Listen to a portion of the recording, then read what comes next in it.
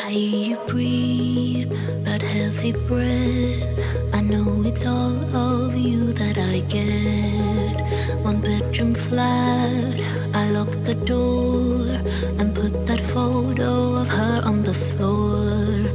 Been here for hours, it's getting dark, and we did everything and nothing at all. And I should leave, cause this is bad. Your hands make up for the love we don't have.